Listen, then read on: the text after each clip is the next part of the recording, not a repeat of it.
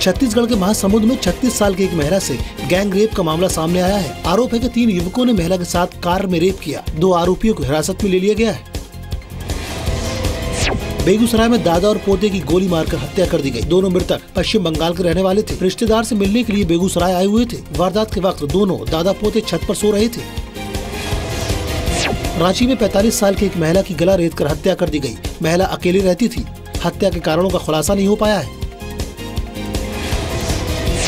UP के शामली में gangrape पीड़ित महिला के आरोपी से समझौता न करने पर गोली मार दी गई। बुरी तरह से घायल महिला को अस्पताल में भर्ती कराया गया है। सात लोगों के खिलाफ मामला दर्ज किया गया है। राजस्थान के भरतपुर में एक अधेड़ महिला की संदिग्ध अवस्था में मौत हो गई। मौत के बाद महिला का अंतिम संस्कार किया जा रहा था। तभी मौके पर पहुँची पुलिस ने। महिला का जलता हुआ शव अपने कब्जे में ले लिया। पुलिस महिला की मौत की जाँच कर रही है।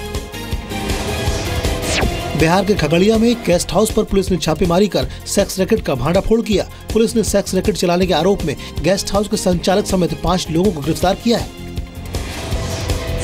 भागलपुर के नाथनगर और ललमटिया थाना पुलिस ने गुप्त सूचना के आधार पर छापेमारी कर सेक्स रैकेट का खुलासा किया है। पुलिस ने मौके से दो महिला और दो पुरुषों को गिरफ़्तार किया है। यूपी के जौनपुर में पुलिस और एसटीएफ ने ज्वाइंट ऑपरेशन चलाकर एक कॉन्ट्रैक्ट किलर ग्रोह का पर्दाफाश किया है। एसटीएफ ने ग्रोह के पाँच अपराधियों को भी गिरफ़्तार किया। बदमाशों के पास से एक 9 एम पिस्टल समेत तीन असलहे बरामद किए गए। बिहार के पूर्वी चंपारण के सुगौली में दो पक्षों में हुई हिंसक झड़प के बाद पुलिस ने 120 लोगों को गिरफ़्तार किया है। अफवाह से बचने के लिए पिछले पाँच दिनों से पूर्वी चंपारण ज़िले के इंटरनेट नेटवर्क को ठप कर दिया गया है।